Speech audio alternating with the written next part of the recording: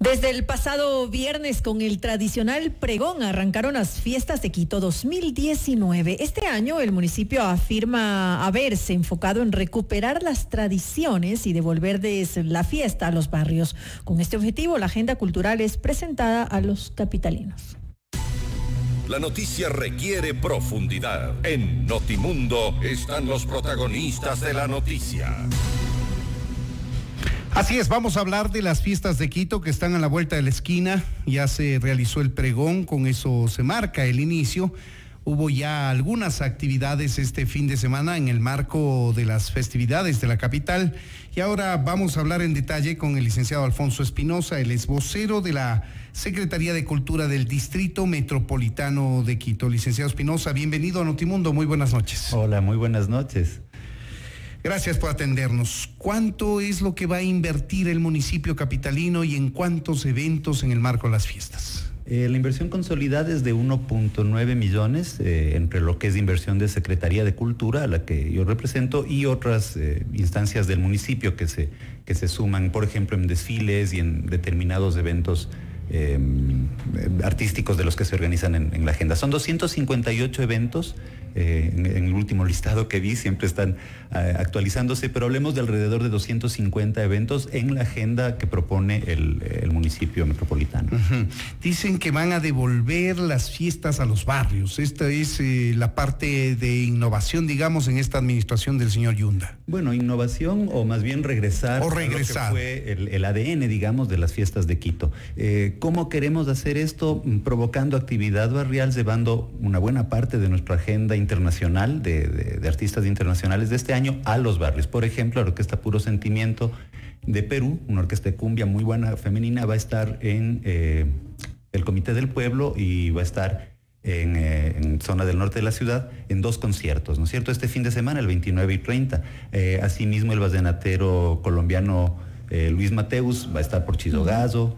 O sea, hemos repartido la, programación, hemos tratado de llevarnos la programación eh, a no necesariamente los puntos de concentración masiva, donde también habrá, por supuesto, eventos. Tendremos un festival urbano el 7 de diciembre en Quitumbe, habrá un tema el 6 de diciembre con Cristian Castro y Magneto y Mercurio en el Parque Bicentenario.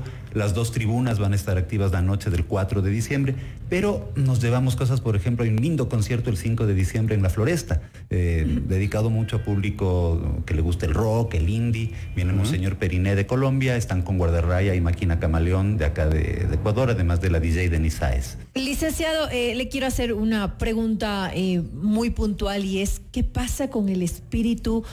Que tenía con anterioridad las fiestas de Quito. Existe a veces la preocupación de que ya no es lo mismo y usted seguramente escuchará que algunas personas dicen ya no es lo mismo eh, lo que se vivía con anterioridad en el pasado en las fiestas de Quito eh, y que además generaba una gran cantidad de turistas, eh, no solamente nacionales, sino internacionales aquí en nuestra ciudad. Hablamos de que eran, se estimaba en más de 100 mil visitantes diarios con un gasto promedio de 50 dólares por día es decir, era un, ingreso muy interesante para la capital.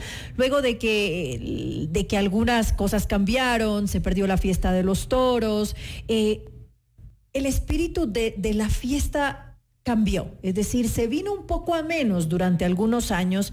Eh, ¿De qué forma eh, se la puede reforzar y, tener de nuevo alguna identidad propia, porque lejos de tener algunos eh, conciertos en, diferentes, en diferentes sitios, antes teníamos una identidad, es decir, la, fiesta tenía un, espíritu, una, personalidad propia. Yo creo que esa, mm, dos elementos, ¿no? Por un lado, las ciudades cambian y, obviamente las, sociedades van eh, avanzando y teniendo nuevos reclamos, nuevos, nuevas inquietudes. Es el tema taurino, hubo una manifestación democrática, la gente en, en las urnas votó y dijo, mire, en Quito no más. Perfecto hemos tenido que ir repensando las fiestas, ¿no es cierto? Sin este elemento que, que, ojo, no empezó con las fiestas de Quito, este fue un elemento que, que, que venía históricamente, que venía históricamente y que se incorporó en el tema de las fiestas, pero bueno. Eh, pero que fue eje principal de las fiestas durante muchos años. En un momento dado fue, fue uno de los elementos principales. El municipio había ido apostando por estos festivales musicales eh, que en la medida que se habían hecho dos, tres, quizá cuatro en alguna de las ediciones de fiestas de Quito, eh, tal vez no habían logrado tener el impacto. Veamos qué sucede este año con esta agenda un poco más amplia en el, en el barrio, en el territorio. Otro elemento es que, eh, claro, hace 10 años eh, la ciudad de Quito, la, la, actividad turística, el posicionamiento internacional turístico de la ciudad no era el que tiene hoy. Quiero decir, en buena hora, Quito no depende hoy estacionalmente de diciembre para su actividad de turismo. Pero el ingreso es importante. sin duda sería importantísimo fortalecer como, como un atractivo turístico turístico, las fiestas de Quito, pero en buena hora, eh, Quito ahora tiene turismo todo el año, ¿no es cierto? Independientemente de, estas programaciones, del mismo patrimonio se ha puesto en valor, la misma eh, valoración de la ciudad. Al visitante le gusta mucho, es un muy buen destino turístico, esto lo han probado en, certámenes internacionales y demás. Eh, y por otro lado hay que repensar, pensar, digamos, el tema de la fiesta mm, como una ocasión pensada para los de adentro, digamos, la fiesta para los de casa adentro, para la gente del barrio. Y ahí es donde yo iba al tema de la identidad de las fiestas que me preguntabas, ¿no?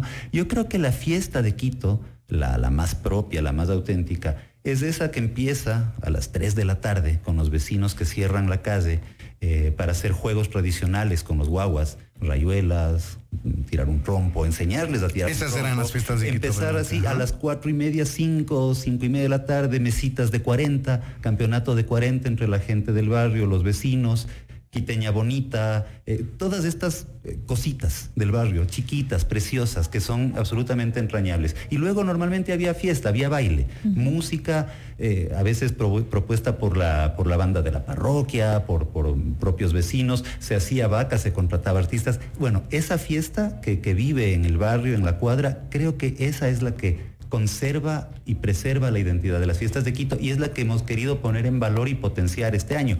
Siempre, eh, digamos, respetando las regulaciones, ¿no? La gente que quiere organizar fiestas tiene que solicitar los permisos en las administraciones zonales, en la intendencia, y esto es simplemente para poder. ¿Qué pasó con la chica que falleció eh, en el Centralazo? No tengo la, no tengo información de detalles de esto. Este ¿Tenían ellos permiso? no, lamentablemente ahí una de las cosas que se, que se ha conocido públicamente es que los organizadores no habían eh, realizado los debidos procedimientos de, de de cuidado, digamos, de, solicitud de los permisos respectivos. ¿no? Eh, en este caso yo entiendo que la responsabilidad en cuanto a la suspensión del evento en su momento eh, recaía más bien en intendencia, ¿no es cierto? Nosotros no, tenemos competencia para, como municipio para clausurar el evento, pero lamentablemente, mira, ahí hay un tema de falta de los, del lado de los organizadores, no haber sacado los permisos. Sin duda hay, hay unas inacciones de las autoridades que, habría que, que, tomar en cuenta, pero hay la responsabilidad directa de un grupo de gente que toma una actitud violenta para entrar a un, a un espacio pacífico, digamos, es un concierto y entramos a la fuerza digamos, tratar de llamar a la sensatez, ¿no es cierto? En el marco de las fiestas de Quito hay una cantidad enorme de eventos gratuitos, abiertos en espacio público. La invitación es para todos, para todas, venir, disfrutar, pasar en familia, pasarlo bien. Pero claro, habrá control sobre el tema de alcohol, habrá control sobre el tema de tumultos y demás. Esperamos que no se den. Yo creo que la primera norma es la buena onda de, los quiteños y quiteñas que vamos a estar en las fiestas y el cuidarnos los unos a los otros. Hablando, licenciado Espinosa, de la identidad de las fiestas de Quito, mire usted que mm, una, uno de los eventos eh, centrales era la elección de reina de Quito. Eso dejó de ocurrir este año.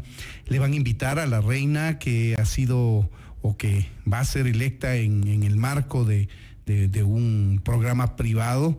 Eh, eso una. Otra, otro de los temas eh, fundamentales eh, de identidad era este, esta competencia de coches de madera. Sabemos que hay riesgo de que en este año no se realice. Quisiera saber si se sabe ya desde el municipio si va a haber apoyo, se va a realizar, cómo está ese tema. Eh, a ver, sobre lo primero en el cuanto a la elección de, Reina de Quito, bueno, en efecto se volvió un evento privado, ha salido de la, de la agenda pública. No sé si está contemplado en los temas de las sesiones de protocolo, la, sinceramente, la invitación a la señorita Reina. No, no tengo la información. En cuanto a los coches de madera, eh, en efecto, el año pasado tuvimos un susto feo. Hubo un accidente, hubo un muchacho que, que quedó en coma, luego ya, bueno, en buena hora se recuperó, pero tuvimos un feo susto. Este año en previsión de eso, lo que se ha hecho es revisar las rutas eh, subir la edad eh, mínima a los chicos de este año. Para la competencia. Para la competencia. De aquí hay una categoría de 15 a 20 años y otra de 20 hasta 40 para adultos que también les gusta muchísimo el, juego con los coches de madera. Eh, el tema del uso de cascos es más exigente, entiendo el tipo de casco que se les está pidiendo, rodilleras, coderas. Eh, asimismo el vallado en las, en las calles. Donde Más protección. mayor protección. Eh, entiendo que, por ejemplo, la calle Río de Janeiro mm, se ha suspendido este, este año, de lo que entendía, y, y, quien ha asumido la organización de las carreras es la EMOP. ¿No es cierto? La empresa Ya no va a ser esta familia tradicional que organizaba. ha asumido la EMOP para poder tener un mayor control eh, y poder brindar las, las seguridades sobre algo que es una cosa tradicional, muy bonita, tiene su, sin duda su, su grado de riesgo, pero nos parece que con las debidas medidas podemos seguir adelante. Vamos a ver cómo reaccionan los ciudadanos, los quiteños y también quienes visiten la capital nacionales y extranjeros durante las fiestas de Quito. Serán 258 eventos culturales, artísticos que se realicen a lo largo y ancho de la ciudad con una inversión de 1,9 millones de dólares para las fiestas de Quito. Queremos agradecer al licenciado Alfonso Espinosa, él es vocero de la Secretaría de Cultura del Distrito Metropolitano de Quito. Muchas gracias por habernos atendido. Muchísimas gracias, solo una cuñita, revisen la página quitocultura.com, aquí tenemos toda la agenda de la ciudad, en Quito Cultura. Perfecto, ahí está la invitación. Esto es Notimundo, amigos, siempre bien informados.